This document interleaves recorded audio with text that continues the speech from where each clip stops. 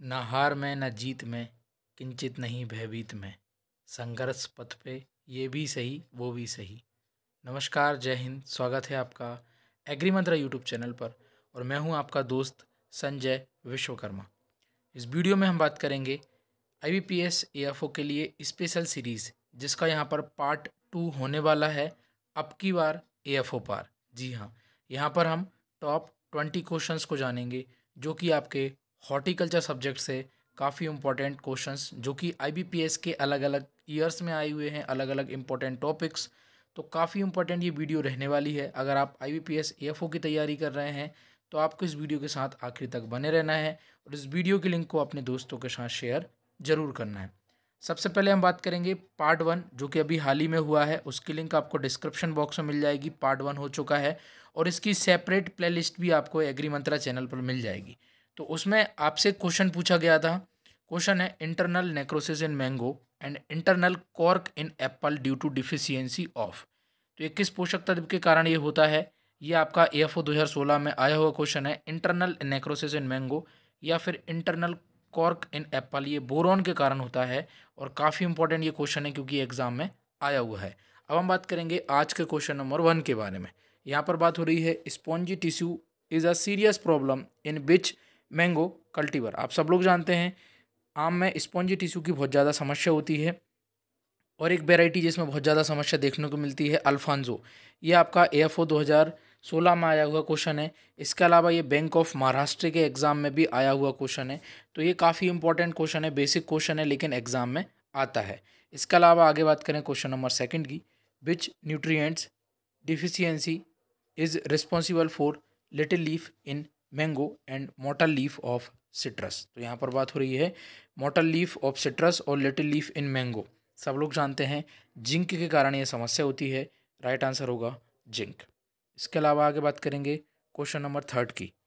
तो यहाँ पर बात हो रही है money allocated for one hectare horticulture crops as पर नेशनल हॉर्टिकल्चर मिशन यानी एन तो यहाँ पर कितनी मनी जो है एलोकोट किया गई है? 2017 में आया हुआ क्वेश्चन है।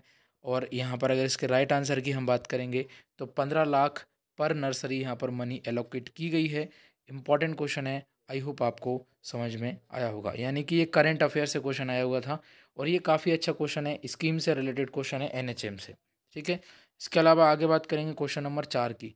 यहाँ पर बात हो रही है कॉजल एजेंट की बात कर रहा है। Black mildew in mango black mildew in mango plant में जो है कॉजल ऑर्गेनिज्म क्या होना चाहिए? तो मेलियोला मैंजी फेरी जो होगा, कॉजल ऑर्गेनिज्म है, ब्लैक मिल्ड्यू इन मैंगो। अच्छा क्वेश्चन है, याद रखिएगा, इसके अलावा बात करेंगे क्वेश्चन नंबर पाँच की। Agent for bacterial spot in citrus तो बैक्टीरियल स्पोर्ट इन सिट्रस के लिए एजेंट क्या है? तो जेंथोमनास कंपेस्ट्रिस वेराइटी है सिट्री ये इंपॉर्टेंट है। ये भी आपका I B P S A F O में आया हुआ क्वेश्चन है। आपको इसको याद रखना है। इसके अलावा आगे बात करेंगे economic life span of coconut in years for coconut palm यानी कि एक एवरेज जो लाइफ होती है कोकोनट की, वो कितना होता है या फिर आर्थिक जीवन भी हम बोल सकते हैं यहाँ पर। लगभग साठ साल के आसपास ये एज लिमिट होती है। तो अच्छा क्वेश्चन है कोकोनट से एग्ज़ाम में आया हुआ क्वेश्चन है। इसके अलावा आगे बात करेंगे which one of the variety of mango यानी कि निम्नलिखित में से कौन जो है सॉरी ऑनियन की वेराइटी है। Which one of the variety of onion इसमें प्याज की कौन सी वेराइटी है? तो Agrifound dark red Agrifound red Nashik red ठीक है एन फिफ्टी थ्री ये कुछ फ़ेमस वेराइटियाँ हैं ऑनियन की और अकॉर्डिंग टू ऑप्शन यहाँ पर जो है एग्री फाउंड जो है, काफ़ी इंपॉर्टेंट वेराइटी है ऑनियन की। इसके अलावा बात करें ब्लैक हार्ट ऑफ़ पोटैटो तो आप सब लोग जानते हैं, ये ऑक्सीजन की डिफिशियंसी के कारण होता है और ये एक डिसऑर्डर होता है तो राइट आंसर होगा ऑक्सीजन डिफिशियंसी डिसऑर्डर काफ़ी इंपॉर्टेंट ये क्वेश्चन है। याद रखिएगा और ये आपके ए के एग्ज़ाम में आया हुआ क्वेश्चन है। इसके अलावा बात करेंगे सिट्रस क्रैकिंग सिट्रस क्रैकिंग जो है बोरोन के कारण होता है। सिट्रस में क्रैकिंग होने लगती है। सिट्रस के जो फ्रूट्स होते हैं वो फटने लगते हैं। उसी को हम सिट्रस क्रैकिंग कहते हैं। तो राइट आंसर होगा डिफिशियंसी ऑफ़ बोरोन काफ़ी इंपॉर्टेंट ये क्वेश्चन है। इसके अलावा आगे बात करेंगे क्वेश्चन नंबर दस। तो यहाँ पर बात हो रही है what is minimum amount of assistant under national horticulture mission for adoption of organic farming. अगर एनएचएम के अंदर नेशनल हॉर्टिकल्चर मिशन के अकॉर्डिंग अगर हम ऑर्गेनिक फ़ार्मिंग को जो है अडॉप्ट करते हैं तो हमको कितना जो है मिनिमम अमाउंट मिलेगा? तो यहाँ पर वन थाउज़ेंड पर हेक्टेयर यहाँ पर आपको अमाउंट मिलेगा फॉर ऑर्गेनिक फ़ार्मिंग। ये इंपॉर्टेंट है और ये एनएचएम से आप देख सकते हैं, दो क्वेश्चन आ गए हैं कि ये आपका इंपॉर्टेंट है। हम जो है इस बार थोड़ा सा अलग करने वाले हैं आपके एएफओ के लिए। पहले हम आपको सब्जेक्ट वाइज क्वेश्चन देंगे। जैसे कि अभी पार्ट वन हुआ है, वो हॉर्टिकल्चर का है। पार्ट टू भी हॉर्टिकल्चर का पार्ट थ्री भी हॉर्टिकल्चर यानी कि चार, पाँच पार्ट में हम जो कि प्रीवियस ए के अलग अलग साल में जो एग्ज़ाम आए हैं सब्जेक्ट वाइज पहले उनको कवर करवाएँगे, फिर उसके बाद हम उनका टॉप ट्वेंटी क्वेश्चन भी लाएँगे और आगे एग्ज़ाम तक या एग्ज़ाम के पहले तक हम आपको मिक्स क्वेश्चन भी देंगे और एग्ज़ाम के कुछ समय पहले, जैसे कि इस बार भी हमने आपको दो मॉक वीडियो यानी फुल लेंथ मॉक टेस्ट भी हमने आपको दिए थे वीडियो के माध्यम से भी तो वो भी हम आपको देंगे। इसके लिए आपको वीडियो के साथ बने रहना है। इसलिए चैनल को आपको सब्सक्राइब कर लेना है और दोस्तों के साथ शेयर करके बताना है कि एग्री मंत्रा पे इस बार ए एफ़ ओ दो हज़ार बाईस तेईस के लिए फिर से नई सीरीज़ स्टार्ट हो गई है। चलिए, क्वेश्चन नंबर ग्यारह की बात करेंगे। Which of the following is a disease causing pathogen in citrus group citrus group में कौन सा डिसीज़ कॉजिंग जो है पैथोजन हो सकता है? यहाँ पर ऑप्शन के अकॉर्डिंग अगर हम बात करेंगे तो फाइटोपथोरा पैरासिटी का जो है डिसीज़ कॉजिंग एजेंट हो सकता है आपका सिट्रस ग्रुप के लिए। ये आपको याद रखना है। प्लाज्मोपोरा बिटिकोला जो है वो मिल्ड्यू से रिलेटेड है, ठीक है, ये ग्रैप में लगता है। इसके अलावा बात करेंगे क्वेश्चन नंबर बारह which of the following is a disease causing pathogen in mango group अब देखिए, लगभग दो से तीन क्वेश्चन आ गए हैं, जो डिसीज कॉजिंग डिसीज कॉजिंग आए हैं, ये सभी क्वेश्चन आपके ए के अलग अलग उसमें आए हुए हैं। तो आप देख सकते हैं कि किस टाइप से एग्ज़ाम में क्वेश्चन जो है, पूछे गए हैं। यहाँ पर बात हो रहा है कि मैंगो ग्रुप के लिए कौन सा डिसीज कॉजिंग पैथोजन है यहाँ पर? तो कोलेट्रोट्राइकम गोलियोस्पेरोइड्स जो है, वो आपका मैंगो के लिए कॉजल ऑर्गेनिज्म है, ये आपको याद रखना है, रोगजनक है। इसके अलावा आगे बात करें, under P M F B Y यानी कि Pradhan Mantri Fasal Bima Yojana, the premium percentage to be paid by farmer of the total cost for commercial and horticulture crops. Simple भाषा में बात करें तो यहाँ पर इसने प्रीमियम रेट पूछी है पी एम एफ़ बी यानी कि प्रधानमंत्री फ़सल बीमा योजना की।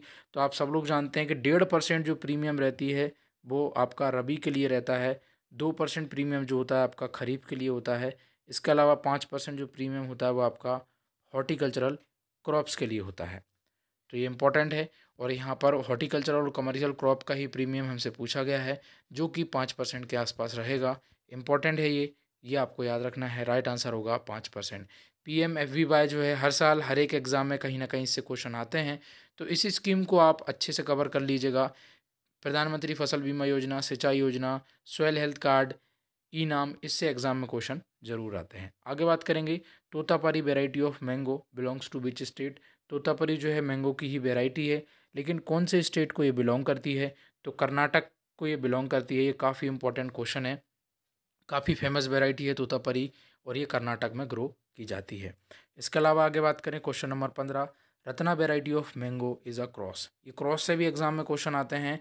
रत्ना की बात कर रहा है यानी एन ए आर ठीक है? Neelam cross Alphonso equal to Ratna. तो नीलम और अल्फांजो के क्रॉस से जो है आपकी रत्ना वेराइटी बनी है।